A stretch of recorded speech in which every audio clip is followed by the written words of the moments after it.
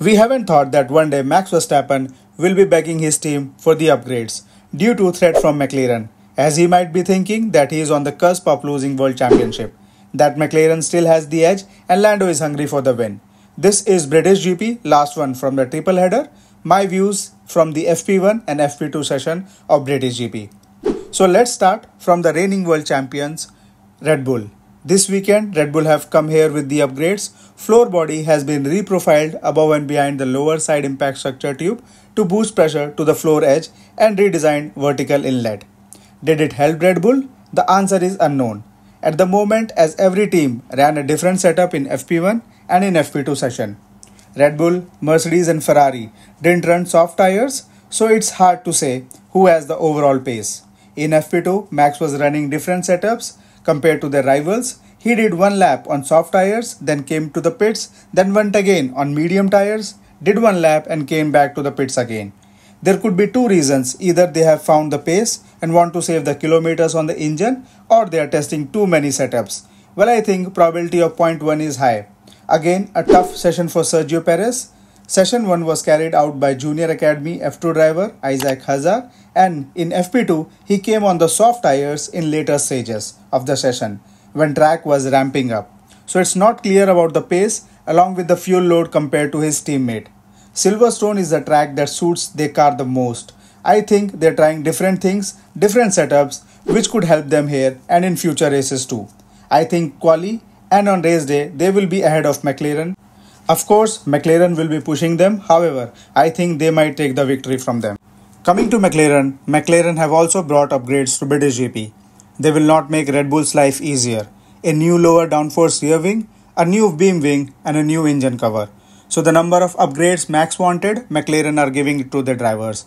With these upgrades, McLaren seems to be finding a bit of a performance, and all these upgrades have planned for the rear of the car. Both the drivers had a good session, their quali and race runs looks good. In the end of FP1, Oscar Piastri reported hydraulics issue. However, team reported it fuel pump leakage. Oscar was up and running in FP2. McLaren will be again a close challenger to the Red Bulls this weekend. However, I think Red Bull has a slight edge over McLaren over high speed corners. Let's see who nails the qualifying at British GP.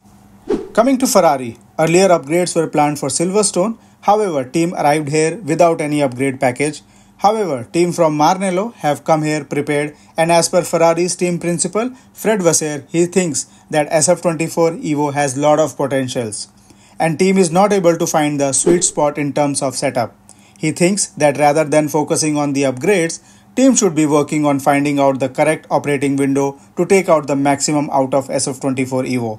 During FP1 and FP2, both Charles and Carlos have used different spec cars Carlos was driving Imola spec car and Charles was driving Spain spec car. Charles, despite ending ahead of Carlos in FP1 and FP2 sessions, he was slow around 5 kmph in high speed corners of Maggotts, Becketts, and Chapel and was also lifting early as compared to Sainz.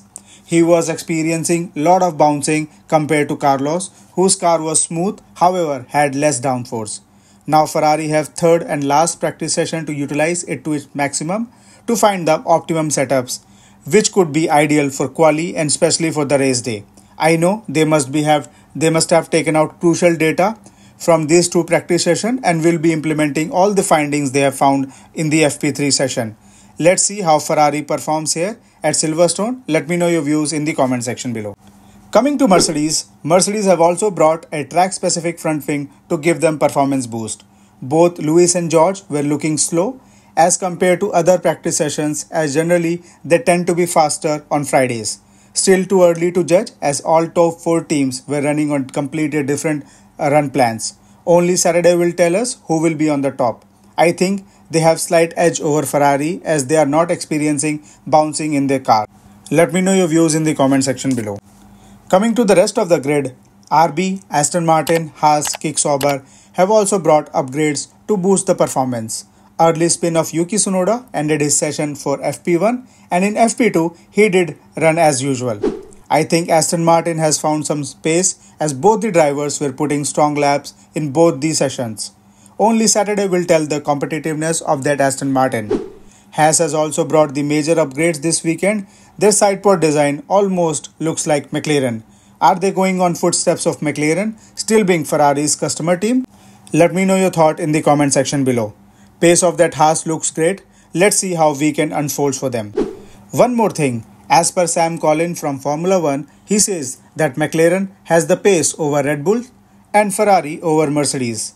He must have taken this data from the GPS. If this is the scenario, then we can expect comeback of Ferrari and exciting race on Sunday. Only Saturday qualifying will tell us the true picture. See you all in my next video. Until then, like, share, subscribe. Take care. Bye.